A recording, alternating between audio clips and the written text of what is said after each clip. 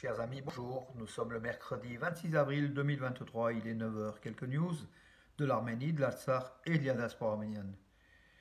Retenez son nom, Alexandre Lentsov. Donc, c'est le nouveau commandant des troupes russes de maintien de la paix en Artsar. Donc, voilà. Il remplace, remplace Alexandre Volkov, euh, qui a pris, enfin, qui a été rappelé par ailleurs. Voilà. Donc, euh, euh, le, nouveau, donc, euh, le nouveau responsable des troupes russes, donc Alexandre Lensov, qui était un conseiller en fait hein, du, président euh, auprès du président donc Poutine, est un homme, est un homme de terrain, est un homme d'un très haut niveau. Bon, on verra s'il arrivera à, maintenir la paix en Artsar, une paix qui est très très fragile, d'autant plus que l'Azerbaïdjan a placé, veut placer un poste de contrôle au pont de Hakkari, donc entre l'Arménie et au début du corridor de la Chine. Voilà, donc aussi en infraction totale de toutes les conventions internationales, de tout ce qui a été signé le 9 novembre 2020.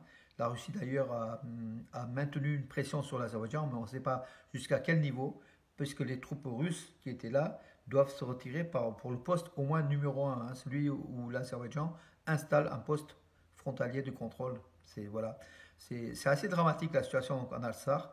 Euh, le blocus est total et plein, et avec ce, point de contrôle, donc Azeri qui est euh, de façon autoritaire installé sur ce corridor de la Chine, ça met toutes les chances de la paix euh, de côté. Donc tout simplement, toutes les négociations sont, comment dirais-je, ont été bafouées, bafouées par Bakou, qui par la pression, par la force, désire en finir avec la question de l'Alsar et peut-être après faire du nettoyage ethnique avant un génocide des Arméniens de l'Alsar Bien sûr, la communauté internationale réagit de façon forte. Voilà, donc la dernière, c'est le, euh, Bundestag, donc la représentante des, droits de l'homme auprès de, de Bundestag, qui s'est aussi alarmé de cela. Euh, beaucoup, les Américains, pareil, donc partout, partout dans le monde. Hier, donc pardon, le 24 avril, à Washington, des Arméniens ont massivement manifesté devant, l'ambassade d'Azerbaïdjan. Ils ont demandé donc aussi le retrait, l'ouverture du corridor de la Chine la reconnaissance du génocide arménien par les Turcs et puis, et puis surtout l'arrêt, l'arrêt de la barbarie azérie à l'encontre des Arméniens. Voilà, est-ce que ça a été compris? Dans la capitale hein, donc des États-Unis On ne sait pas.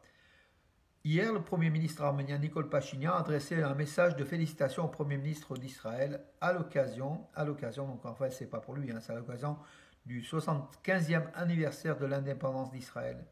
Voilà, l'État d'Israël. Donc c'est une bonne chose puisque c'est la diplomatie.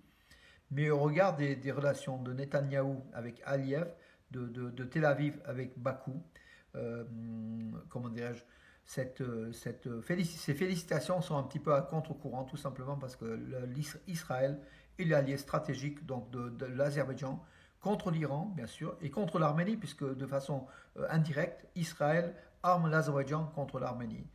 N'empêche, donc le Premier ministre arménien envoie un message pour l'anniversaire de l'indépendance de, l'État hébreu, Israël. Donc voilà, je crois 47 ou 48 par Ben Gourion. Euh, voilà la situation donc euh, euh, politique. Détention, donc le, commandement des forces armées de l'Artsar, Mikhail Arzoumanian, qui était arrêté, qui était emprisonné donc tout simplement pour, pour avoir, comment dirais-je, lâché Chouchi, des positions importantes auprès de, donc près de Chouchi, des, des, erreurs, des erreurs stratégiques énormes d'avoir fait abandonner euh, ces postes qui ont coûté donc euh, Chouchi. Euh, dans l'organisation en fait de la défense il a très très mal agi.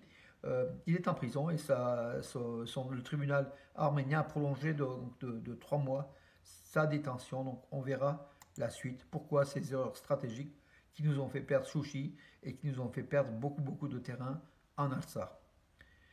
Euh, toute autre chose, la Fédération européenne d'haltérophilie a salué l'Arménie, a félicité l'Arménie avec des diplômes, des remises pour l'organisation parfaite des championnats d'Europe d'haltérophilie qui sont déroulés à Yerevan de façon parfaite. Hein, voilà, comme on dit, c'est bravo pour, euh, bravo pour euh, l'Arménie qui sait faire les choses, qui sait organiser des choses. alors, il y a une fontaine mémoriale commémorant les héros de l'opération Nemesis a été ouverte, a été inaugurée à Yerevan. Donc voilà, une belle chose, avec le nom de tous ces combattants, les justiciers arméniens, je vais en citer, quelques-uns. Soromonte Terlian, vous, vous, le connaissez, le, le, le, vengeur, enfin le, justicier du génocide des Arméniens contre Talat Pacha, donc à Berlin, il a exécuté Aram Yerganian, Armen Garo, Krikor Merjanov. Alors je vais continuer parce qu'en fait, euh, puisque j'en ai donné un, il faut donner le reste.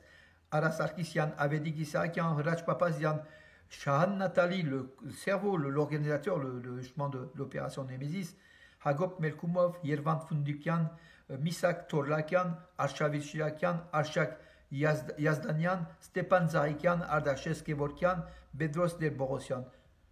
Que euh, que le souvenir de ces héros justiciers, donc euh, des exécuteurs du génocide arménien, eux-mêmes exécutés par les justiciers arméniens, que leur souvenir reste vraiment dans nos, dans nos, dans nos pensées. Ce sont des, des, gens qui, de leur vivant, de, ont, ont, ont, comment ont liquidé tout simplement les génocideurs. Hein, voilà, donc euh, d'un côté, il y a quand même 2 millions de morts du côté arménien, et là, quelques-uns de Turcs, de, de, jeunes Turcs, du gouvernement jeune turc, qui ont été, qui ont été, qui ont été comment euh, qui ont été hum, isolés, ils ont, ils ont, été tués tout simplement, hein, donc par des vengeurs, des justiciers arméniens. Et heureusement que de leur vivant, au moins Talat, il a été assassiné.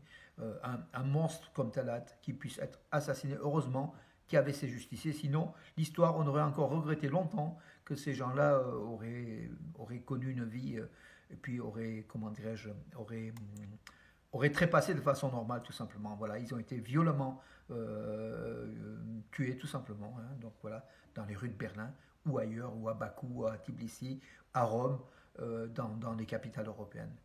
Merci, merci à ces justiciers, tout simplement, qui ont un peu qui atténuent notre mal, le mal donc de ce génocide de 2 millions d'Arméniens par les jeunes Turcs et que cette, euh, ce, ce, mémorial fontaine, c'est une fontaine mémoriale, puisse, comment dirais-je, nous faire penser à chaque fois que, que, les Arméniens ont la mémoire longue et ils peuvent, ils peuvent, ils peuvent donner des, comment ils peuvent, euh, dans un acte de résilience, ils peuvent résister, résister à ces envahisseurs, ces, barbares qui ont essayé d'exterminer le peuple arménien. Euh, oui, euh, Justin, Trudeau, Justin Trudeau, donc le, ben, Premier ministre canadien, à l'occasion de la commémoration du génocide, a fait encore une déclaration, hein, bien sûr, pour, au profit de, pour la reconnaissance du génocide et aussi pour la situation donc, de, de, des Arméniens en Artsakh. Donc voilà, le Canada qui est proche, qui est proche de l'Arménie et des Arméniens, qui est proche de, la justice et des droits humains. Voilà. Euh, L'Arménie va déposer donc une, une requête auprès de, CIG, c'est le, Comité international de justice, au sujet, de la mise en, de, du, poste sur le corridor de la Chine, le poste Azeri, à hauteur donc du pont de Akari. Voilà, donc le premier poste entrant entre l'Arménie et l'Alsar. Euh, donc les Azeris ont placé un poste de contrôle, euh, ce qui est illégal tout simplement. Euh, voilà, Kim Kardashian, donc un message qui est sur Instagram pour le génocide. Souvenons-nous ensemble du 1,5 million, de personnes qui ont perdu la vie. Elle a posté plusieurs photos. Elle est suivie par pratiquement 300 millions de personnes, c'est énorme. Voilà, donc du coup, c'est pour ça que c'est important, l'importance de tout acte, de toute écriture, de, de, tout message de Kim Kardashian, la people euh, arméno-américaine de la télé-réalité. Euh, c'est très très important aussi, donc ça nous aide beaucoup aussi, il faut quand même le dire. Euh, voilà, et puis bravo à Luciné Petrosian, donc la soprano, donc chef de la chorale, auteur-compositrice, euh, donc amoureuse de Komidas, qui veut, elle, elle, diffuse la musique arménienne et surtout les chants de Komidas à travers la, la chorale, elle est chef de chorale à Priva, euh, et elle, est, fait des concerts, elle est soprano.